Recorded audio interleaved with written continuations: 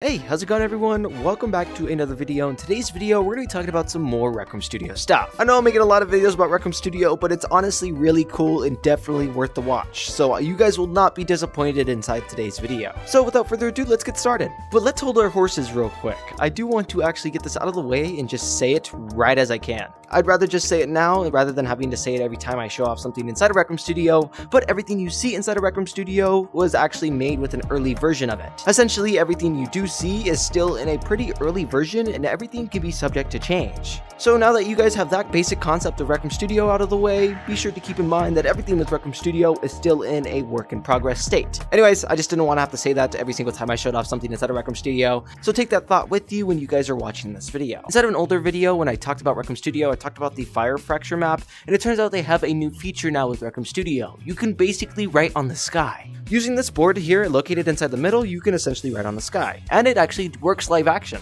There you go, you guys can see that, and if I draw a line, you guys will visibly see me actually drawing. It's pretty cool. So if this interests you, being able to draw in the night sky, come to Fire Fracture. It has a new feature. There is a new Room Studio map called Around the Globes made by Iron Meg. As you guys can see, it's honestly really cool. The room description says as so. In this magical snow globe museum, you can visit the different worlds within the globes. Find each missing globe to visit them all. And as you guys can see here, they have a board of, I'm guessing, all the features that are unlocked or locked. And it seems like they have a lot of them. So go give this room a check out. It'll be linked down inside the description. And uh, yeah, let's continue on. Centurion, a Rec Room developer, does actually say this. He kind of verifies and confirms that we can do custom reloads or playback animations with objects that we're actually holding. It's a pretty funny situation though, because Star Centurion ended up saying something like this. No, you cannot move your character's hands nor body, it's just probably like gun reloads and stuff like that. Other objects can be animated while you're holding them. It's a whole situation, but anyways, let's keep on going.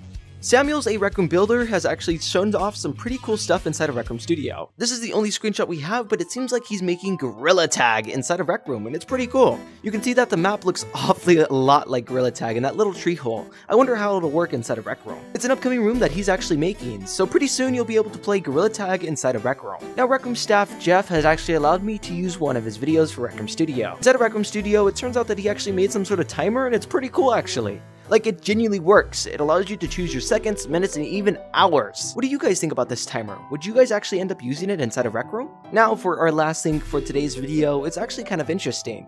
We get to see the difference between the actual maps inside of Rec Room Studio between PC and Quest. I mean, it's no difference that Quest is obviously going to be a little worse than PC because, I mean, it's its own headset, and PC is PC. Icequake specifically states that he wants to just show the texture and normal map difference between the Quest and PC, and he wants to make clear that obviously this can be changed. So don't let this discourage you all my Quest 2 players, and uh, yeah, what are your guys' thoughts about this? As always, let me know about that down inside the comments below, and that's essentially it for all of today's video. I kinda went over most of the Room Studio news that I was able to catch. I'll make a video pretty soon going into depth on how you can actually find Rec Studio stuff and be able to see it for yourself rather than here on YouTube. If you don't care, then I mean, you could just stick around on YouTube and, and you still watch that video if you guys want. I mean, it's up to you. But I will be showing you guys soon on how to actually learn about Rec Studio and see some pretty cool creations while you're at it. Yeah, that's basically it for this entire video. Thank you guys so much for watching. Be sure to like, subscribe, and put on those post notifications. It does help a lot. I really do appreciate it, and I'll see all of you guys inside the next video. As always, have a good day, and without further ado,